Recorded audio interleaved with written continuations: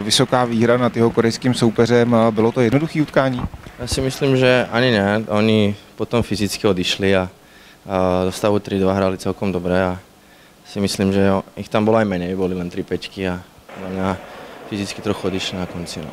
Oni celkom dobre bruslili a dávali si to k nám do tretiny a hovorím, do 30. minúty boli vyrovnaným superom, ale pak odišli fyzicky a, a jsme, jsme rádi za tu výhru 6 a ty sám si střelil dvě branky, potěší to, je to dobrý pro sebevědomí? A som rád, že sa darilo celé line a uh, mali sme tam aj viac šanci, ale som rád, že to tam padlo a mali sme dva a jsme přispěli k výhře. No.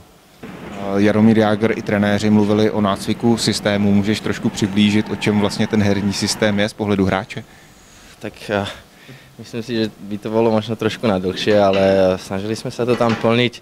Viem, že v niektorých momentoch sme to, sme to nedelali, ale v niektorých e, boli tam aj svetlejšie, aj naše momenty, čiže a ešte, ešte máme hodně práce před sebou. Bavil jsem se o přestávku s Milanem Novým. Ten říkal, že, e, že ti doporučil, abys byl jako strejda a začal rychle dávat góly. Tak to vypadá, že jsi to vzal k srdci? No, strejda byl úplně něco jiný, jiný hráč. On dal trošku viac tých gólov, jak já a, a vůbec to نریشیم.